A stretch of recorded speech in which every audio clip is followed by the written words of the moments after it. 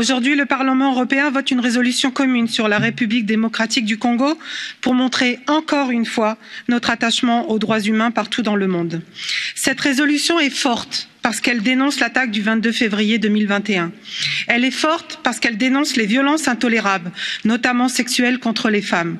Elle est forte parce qu'elle dénonce la corruption qui gangrène le pays. Elle est forte parce qu'elle dénonce les abus commis en relation avec la commercialisation des ressources minières. J'insiste pour rappeler que tous les investissements étrangers doivent respecter les droits humains, qu'il s'agisse de la Chine ou de tout autre pays.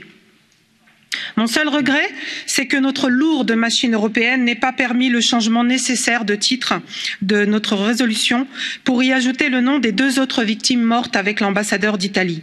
Ces deux victimes, c'est Vittorio Iacovacci, qui était garde du corps, et c'est Mustapha Milambo, qui était chauffeur. Toutes les vies se valent, qu'elles soient européennes ou africaines, italiennes ou congolaises. Toutes les vies se valent, qu'il s'agisse de diplomates, de gardes du corps ou bien de chauffeurs. Et surtout, n'oublions jamais que ces rares attaques qui tuent des Européens, la société congolaise en connaît malheureusement régulièrement.